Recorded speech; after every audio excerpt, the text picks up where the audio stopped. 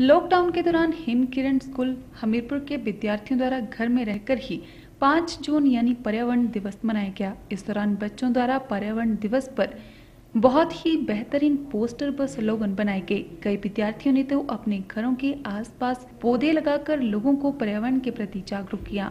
इसके साथ ही हेमकिरण स्कूल की एमडी प्रधानाचार्य व समस्त स्टाफ द्वारा पर्यावरण दिवस पर जागरूक किया गया।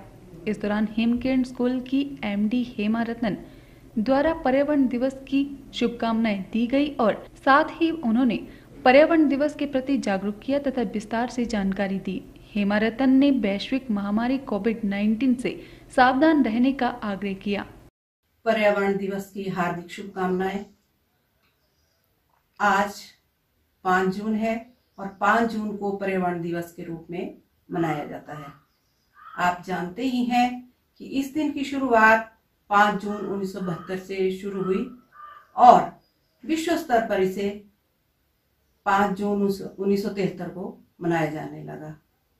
इसके मनाने का एक ये कारण रहा कि हमारी धरती पे जो प्रदूषण है और ग्लोबल वार्मिंग की वजह से बहुत ज़्यादा जो नुकसान हो रहे हैं, उसको बचाने के लिए और इस धरती को सुरक्षित रखने के लिए हमें पर्यावरण दिवस का जो है, बड़ा योगदान है।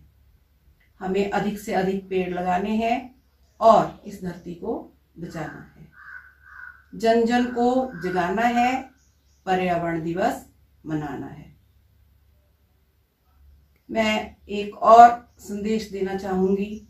आप जानते हैं कि आज वैश्विक स्तर पे जो ये महामारी कोरोना नाम की फैली है, आप सुरक्षित रहें, घर में रहें और सरकार द्वारा जो नियम बनाए गए हैं, उनका पालन करें ताकि हम अपने आप को इस महामारी से बचा के रखें।